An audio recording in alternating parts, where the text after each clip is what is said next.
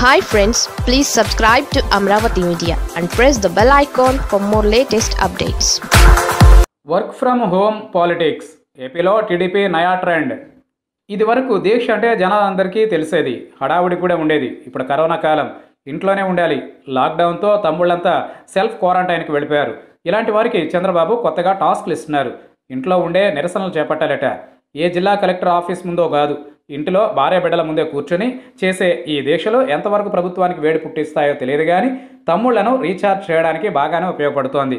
Lockdown అన్నారు. కానీ రాజకీయాలకు కాదు కదా అందుకే ట్విట్టర్ ఫేస్బుక్ ఇతర సామాజిక మాధ్యమాల ద్వారా ఎవరి రాజకీయం వారు జోరుగా చేసుకుంటున్నారు. జగన్ని తిట్టాలన్నా తమ ప్రభుత్వం గొప్పలు చెప్పుకోవాలన్నా కూడా స్మార్ట్గా ఫోన్లో మెసేజ్ పాస్ చేస్తున్నారు.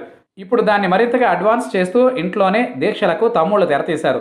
కరోనా బాధితులకు వైసీపీ సర్కారు ఏమీ చేయడం లేదని వారిని ఆదుకోవాలని డిమాండ్ చేస్తూ విశాఖ జిల్లాకు చెందిన టీడీపీ ఎమ్మెల్సీ బుద్ధ నాగ జగదీశ్వరరావు తాజాగా తన ఇంటిలోనే ఉదయం ఆరు నుంచి సాయంత్రం ఆరు వరకు ఒకరోజు నిరాహార దీక్ష చేశారు. మీడియాకు వాటి ఫోటోలను పంపి రాజకీయంగా బాగా రక్తి కట్టించారు.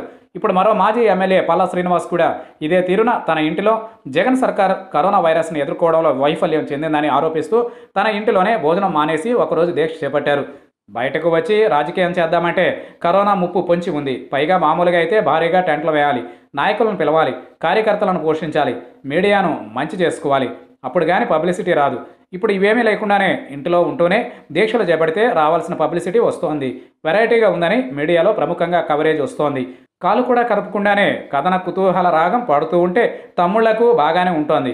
లాక్డౌన్ వేళ అంతా ఇంటి నుంచే పనిచేస్తున్నారు ఇది అంతర్జాతీయంగానూ ఇప్పుడు బహుళ ప్రాచుర్యం పొందింది. మరి మాస్టర్ మైండ్ చంద్రబాబు కూడా తన పార్టీ వారికి ఇదే రకమైన సందేశం ఇస్తున్నారు. తరచూ పార్టీ నేతలతో వీడియో సమావేశాలు పెడుతూ ఆన్లైన్లోనే ట్రైనింగ్ ఇస్తున్నారు. ఇక ఇంటి నుంచే రాజకీయానికి కూడా శ్రీకారం చుట్టేసి అధికార పార్టీని కంగు తినిపిస్తున్నారు. కరోనా పుణ్యమా అని ఆందోళనలు కొంతకాలమైన వాయిదా పడతాయనుకుంటే ఇలా ఇంటి నుంచే పూటకో తమ్ముడు ఉద్యమాలు అంటుంటే అధికార పార్టీకి కొత్త తలనొప్పులే మరి.